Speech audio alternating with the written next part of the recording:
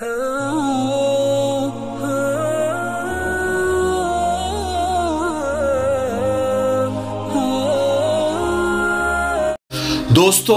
آج کا ویڈیو بناتے ہوئے دل بہت رنجور ہے، بہت دکھی ہے۔ دیکھیے ویسے تو ہزاروں لاکھوں لوگ روزانہ مرتے ہیں۔ ہم خود اپنے کندھوں پر اٹھا کر انہیں قبرستان چھوڑ کر آتے ہیں۔ اور اپنے ہاتھوں سے انہیں دفناتے ہیں، ان پر مٹی ڈالتے ہیں۔ مگر کہتے ہیں نا کہ موت اس کی ہے، کرے جس پہ زمانہ افسوس۔ یوں تو دنیا میں آئے ہیں سبھی مرنے کے لیے۔ کل حیدرآباد سے ایک بہت ہی افسوسناک اور دکھ بھری اور درد بھری خبر آئی۔ خبر یہ ہے کہ ڈاکٹر نثار الدین جو کہ M B B S, M D doctor تھے اور ان کی وائف، ان کی اہلیہ ڈاکٹر سائمہ جو کہ ایم بی بی ایس کی پڑھائی کر رہی تھی اور فائنل ایئر میں تھی اور دونوں کی ایک یا دو مہینے پہلے ہی شادی ہوئی تھی۔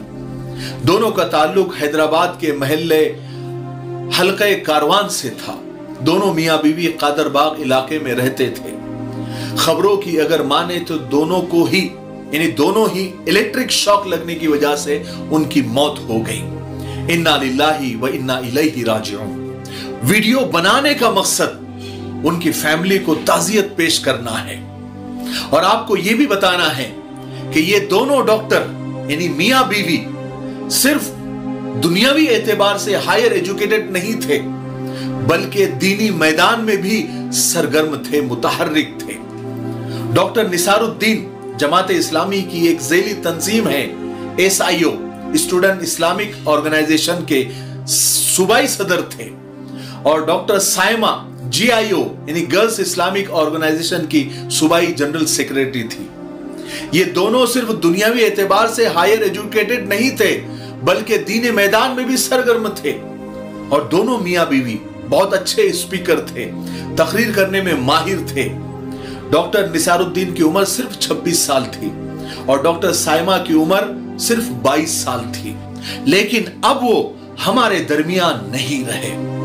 اس حادثے کا بہت زیادہ دل پر اثر ہے، دل غمغین ہے، اور جو بھی یہ خبر سن رہا ہے، ان کا دل بہت دکھ رہا ہے۔ آپ کو بھی افسوس ہو رہا ہوگا کہ یہ دونوں محبت کرنے والوں کا یہ سفر شروع ہوتے ہی ختم ہو گیا۔ کسی نے بڑی اچھی لائن کہی ہے کہ لوگ اچھے ہیں بہت، دل میں اتر جاتے ہیں۔ ایک برائی ہے تو بس یہ کہ وہ مر جاتے ہیں۔ جان ایلیا صاحب کا ایک خوبصورت شعر مجھے اس وقت یاد آ رہا ہے کہ کتنی دلکش ہو تم، کتنا دلجو ہوں میں۔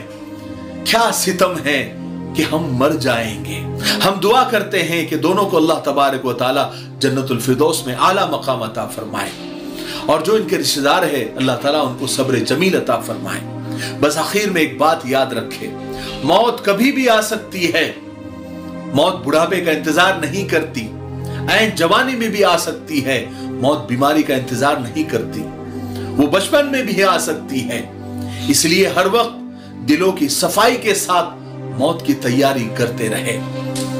ہم لوگ یہ سمجھتے ہیں کہ ہم مردے کو قبرستان لے کر جاتے ہیں، لیکن حقیقت یہ ہے کہ مردہ ہمیں قبرستان لے کر جاتا ہے۔ تاکہ یہ بتا سکے کہ دوستو، میرا نمبر تو آ گیا۔ آج میرا نمبر آ گیا۔ اگلا نمبر تمہارا ہوگا۔ اس لیے اپنی تیاری کر لو، یہاں سے جاؤ تو موت کی تیاری شروع کر دو۔